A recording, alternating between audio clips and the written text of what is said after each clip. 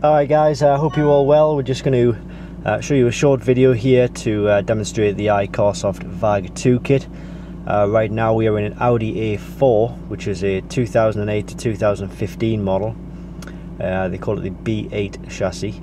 Um, as you can see we have the flashing TPMS, we have the uh, traction control light, we have the ABS light, and we also have the park and brake light.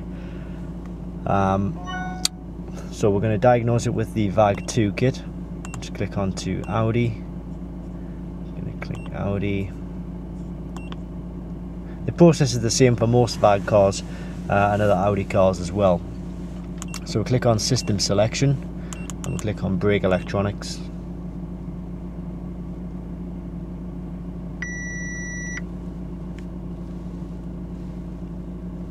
And we'll click on to Read DTC.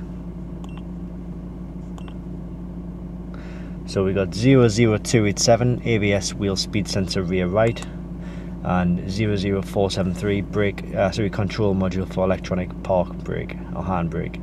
This fault here we know from experience is being caused by this one here. Um, so really you need to fix this fault and then you'll fix the other one as well automatically. Um, so it looks like um, obviously the fault is in ABS wheel speed sensor uh, rear right. So well, before we made this video we'd actually already diagnosed the fault um, and we have half put a new ABS sensor in. Since doing that though we start the engine the lights are still there, that's because you need to clear fault memory.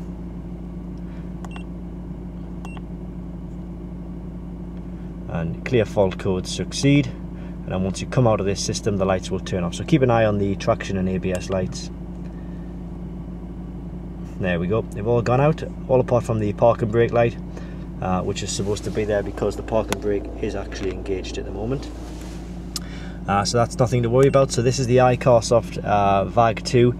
It is available at Diagnostic World. It's www.diagnostic-world.com or you can just click the link directly below this video and it will take you to the page on our website. So thanks for watching this video and I hope it's helped you.